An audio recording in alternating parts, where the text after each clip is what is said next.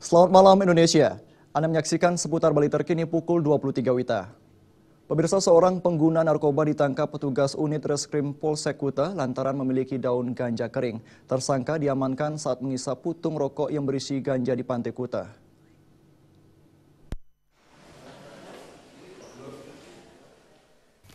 Polisi menangkap tersangka Aset 27 tahun asal Nias dengan barang bukti 24,3 gram daun ganja kering. Saat itu, petugas curiga akan keberadaan pasangan kekasih yang sedang menghisap rokok.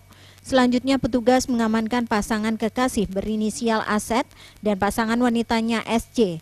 Dalam penggeledahan petugas menemukan satu batang rokok yang telah dihisap yang di dalamnya berisi daun, biji dan batang ganja kering serta tembakau seberat 0,7 gram. Polisi juga menemukan satu bungkus koran berisi daun ganja seberat 23,3 gram dan lima batang rokok yang di dalamnya juga berisi ganja pada jok kendaraan aset.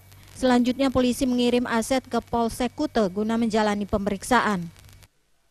Ya, bahwasanya untuk narkotika memang merupakan target daripada Polsek Kute, ya, di mana untuk regenerasi penerus tentunya harus uh, perlu kiranya kita memberikan suatu pembinaan selain penegakan hukum.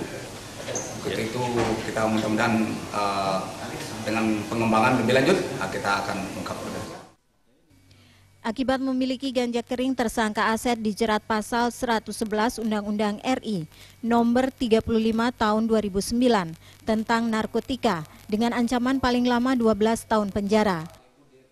Raiswantara, Bali TV. Sekian seputar Bali terkini kali ini. Terima kasih atas perhatian Anda. Salam Indonesia.